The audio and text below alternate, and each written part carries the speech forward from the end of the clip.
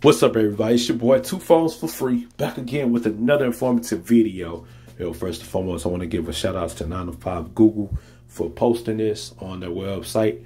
If you guys want to know everything about Google or updates on Android, things and that sort, you follow your boys at 9 to 5 Google. I'll leave a link in the description box.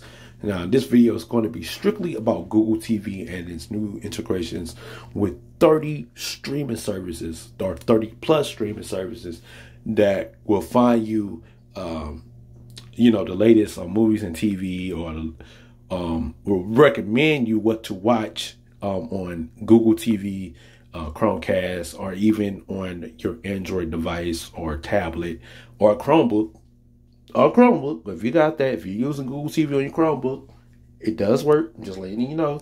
Um, so they have like 30, they have updated with the uh, 30 streaming services, and they, they also drop a full list. I'm not gonna go through the whole list, but um, you know, the big names like uh, Disney Plus, Hulu, HBO Max, NBC, uh, Peacock, uh, Amazon Prime Video, Comedy Central, YouTube TV, etc., etc. So it has some of the uh, biggest names out there for streaming services, and majority of them are for free. So majority of these on the list you can view for free. Did you even know you can even watch HBO Max uh, episodes for free? Like the original HBO uh, episodes, you can watch some of those for free with the HBO Max application. Yeah, they can tell you that. But that's besides the point.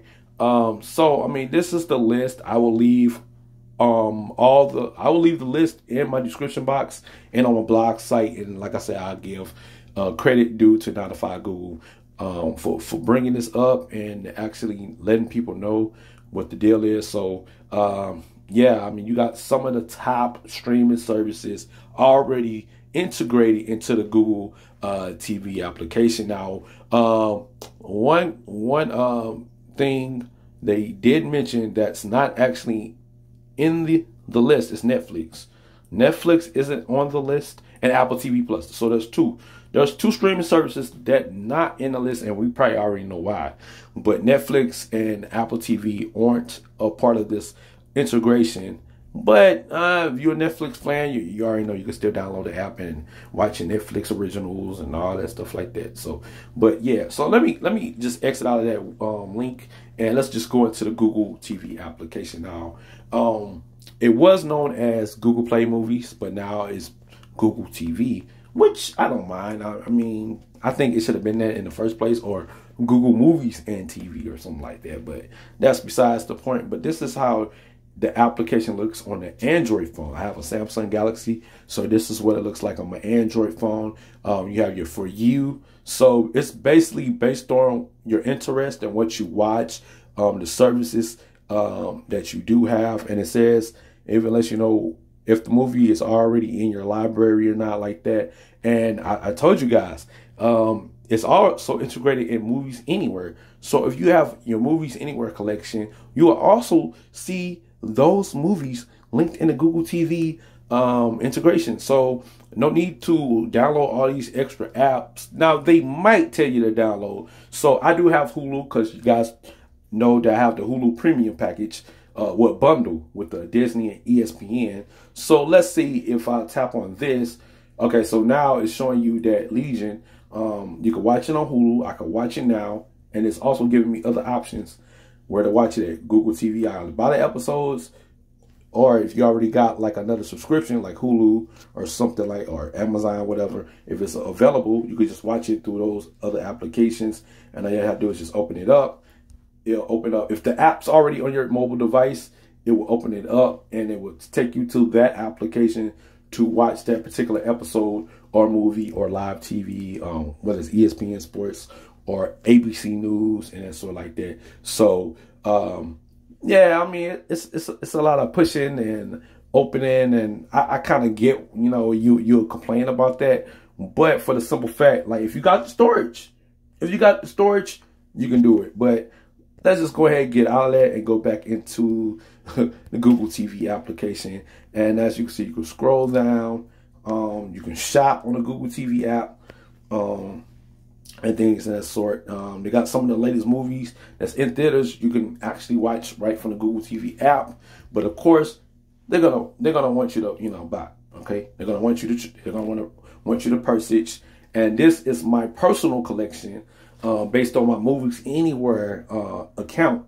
So this is my personal co collection of movies um, that's included or, or, integrated into the Google TV because I linked my Google account to Movies Anywhere. So now any movie I owned or bought and got a digital copy and put the code into Movies Anywhere and linked my Google account to Movies Anywhere, now it all pops into the Google TV application. So I, I think that's really pretty cool, um, neat thing for Google TV. And then my watch list, which um, I'm probably to check these out later on um, in the day.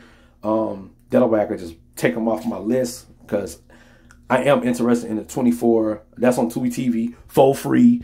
And then you got this uh, a copy uh, Wall Street collaboration film on Peacock for free, but it's, showing um, through the Google TV application and sort like that. So um, yeah, it's it's all about your preference, guys, and what you want and how you watch TV. I mean, hey, I think Google does it better than anybody else, in my opinion.